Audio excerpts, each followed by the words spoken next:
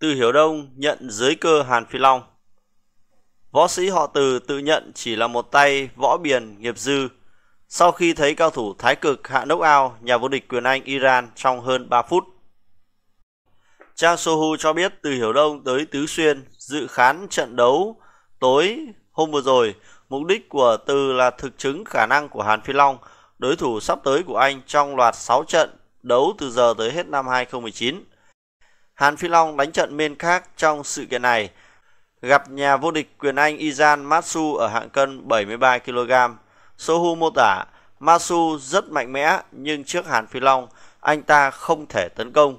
Lối di chuyển linh hoạt của Hàn giúp anh ta hạ nốc ao đối thủ trong 100 giây. Từ Hiểu Đông cũng ngạc nhiên về khả năng của cao thủ Thái Cực Quyền. Sohu cho biết Từ Hiểu Đông đã toát mồ hôi và sốc khi tận mắt chứng kiến trận đấu chuyên nghiệp. Khi được người hâm mộ xung quanh nhận ra từ lý giải anh tới để học hỏi, võ sĩ MMA cũng thừa nhận Hàn Phi Long rất mạnh và anh chỉ là một tay võ biển nghiệp dư khi so với Hàn. Hàn Phi Long từng theo học thái cực từ Vương Chiến Quân, con trai của Vương Tây An, người từng nhận dạy võ cho tỷ phú Jack Ma. Với thể hình lý tưởng cao 1m80, Hàn là võ sĩ đầu tiên đưa thái cực quyền trở thành môn thể thao đối kháng. Theo Sina, năm 2012, anh bắt đầu được chú ý khi hạ 5 cao thủ thiếu lâm để thắng trong cuộc thi Thái cực và thiếu lâm Đại Pháp do đài CCTV tổ chức. Trong làng võ thuật Trung Quốc, Hàn Phi Long mới nổi trong khoảng 2 năm trở lại đây, nhưng đã được xưng tụng là cao thủ thái cực số 1, võ sĩ quê Sơn Tây, gây tiếng vang lớn hồi đầu năm 2017 khi thực hiện kỹ thuật cực khó để hạ knock out đối thủ người Iran Gonzalez. Anh đột ngột hạ trọng tâm sang phải, lấy nắm đấm sang trái làm điểm tựa, tung người rồi dùng chân phải quét thẳng vào đầu đối phương.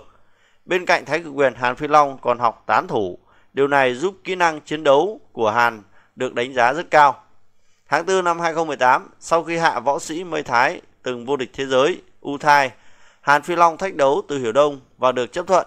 Hai người đã ký hợp đồng và dự kiến tổ chức trận đấu vào khoảng tháng 6 năm 2019. Su tiết lộ, từ Hiểu Đông tự biết khó thắng được Hàn Phi Long, võ sĩ MMA tự nhận là không phải đối thủ. Tuy nhiên, Từ cho rằng thách thức lớn nhất khi thượng đài với Hàn đó chính là vượt qua bản thân.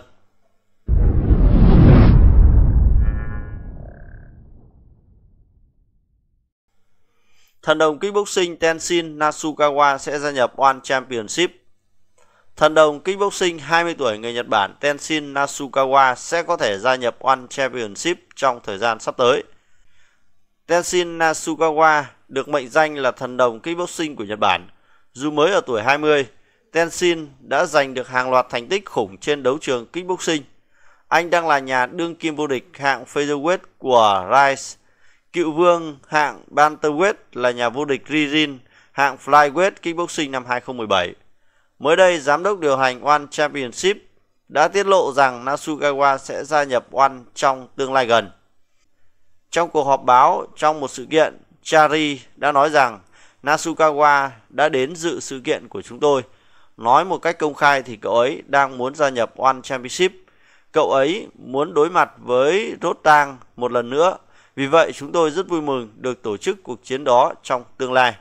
Nasugawa đã đến để theo dõi sự kiện One vừa rồi. Đây là sự kiện mà gọi là một kỷ nguyên mới khi ra mắt hai bản hợp đồng bom tấn, đó là Alvarez và Demetrius Johnson. Về phía Nasugawa, mặc dù đã thi đấu ở hai giải đấu khác nhau, với ba hạng cân khác biệt, đến giờ Tenshin vẫn chưa phải nếm mùi thua cuộc với tư cách một võ sĩ chuyên nghiệp – Tenshin giành chiến thắng trong toàn bộ 27 trận đấu kickboxing với 74% số chiến thắng đến từ knockout. Tenshin cũng tham gia 4 trận đấu MMA và đều chưa từng phải nhận thất bại. Lần gần nhất Nasukawa đã gặp Floyd Mayweather trong một trận đấu biểu diễn và anh ta đã nhận một thất bại trước huyền thoại kickboxing. Tuy nhiên, trận đấu đó chỉ mang tính biểu diễn.